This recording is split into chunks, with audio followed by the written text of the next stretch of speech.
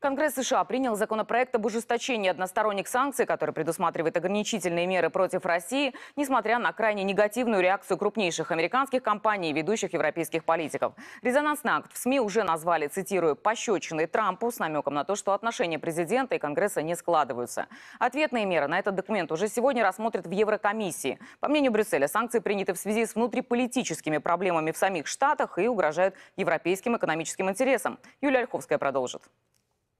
Итог голосования, которое накануне состоялось в Конгрессе, сложно назвать неожиданным. По информации, которая просачивалась в прессу, было понятно, большинство конгрессменов, как демократов, так и республиканцев, намерены поддержать законопроект о новых санкциях против России. В итоге 419 голосов «за» и всего 3 против. Ввести новые ограничительные меры до летних каникул для конгрессменов, судя по всему, было делом принципа. Документ опубликовали в выходной день, а один из главных ястребов, сенатор Маккейн, который недавно перенес серьезную операцию, ради голосования даже приехал на работу. Санкции коснутся прежде всего российских банков. Срок их финансирования будет сокращен, а также энергетических компаний, которые намерены инвестировать в строительство российских экспортных трубопроводов. Отдельно прописаны положения, касающиеся «Северного потока-2».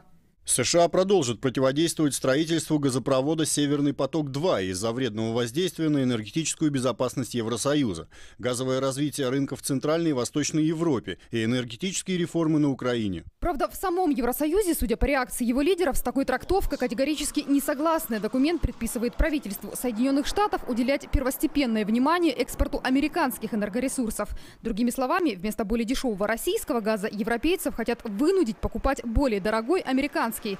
Сначала Германия и Австрия выступили совместным заявлением. Инициатива США нанесет ущерб американо-европейским отношениям, но в Вашингтоне сигнал проигнорировали, как и опубликованную перед голосованием статью Financial Times, в которой говорится, что в Европе действия Вашингтона не оставят без ответа. Как отмечает газета Financial Times, главное внимание Брюсселя должно быть сосредоточено на получении от администрации Трампа публичного или письменного заверения в том, что новые санкции не будут направлены против ЕС. Другие варианты, которые рассматриваются в Европейском Союзе, должны предусматривать использование европейского права с целью недопущения того, чтобы меры США были бы признаны и приведены в действие в Европе, а также подготовку совместимых с нормами ВТО ответных мер. Чем дольше молчит Белый дом, тем больше накаляются отношения между США и Европой. Дипломатические Дипломатический источник в Брюсселе сообщил агентствам, Евросоюз собирается ограничить доступ американских компаний к кредитам европейских банков. Подробности, возможно, станут известны уже сегодня. Еврокомиссия готовит специальный доклад.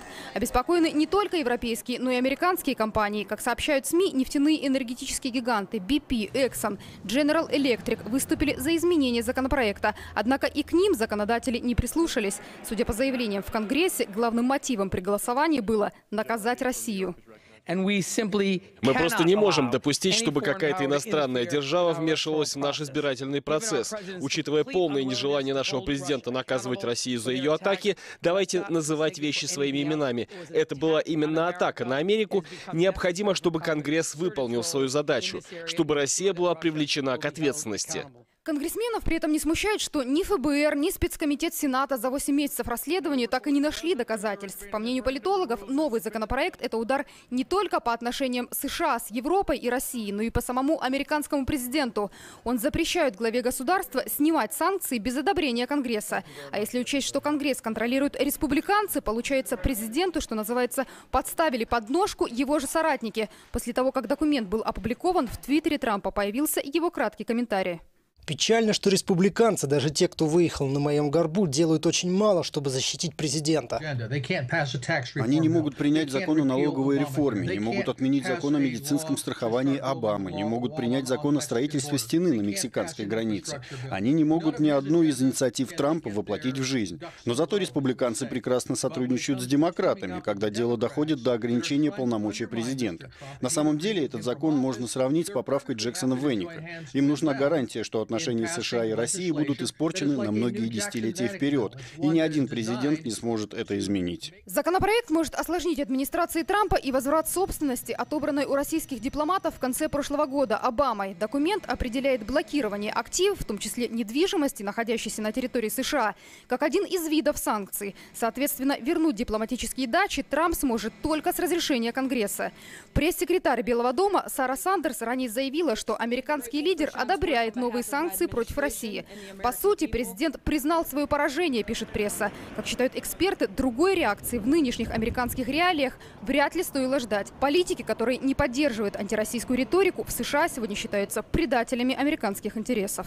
Теперь за документ должен голосовать Сенат. Там, вероятно, поддержка будет почти стопроцентной. После этого законопроект попадет на подпись президенту. Трамп теоретически может его не подписывать. Однако в этом случае, считают аналитики, Конгресс легко преодолеет президентское вето. Для этого нужно две трети голосов, а обе палаты вполне могут их обеспечить.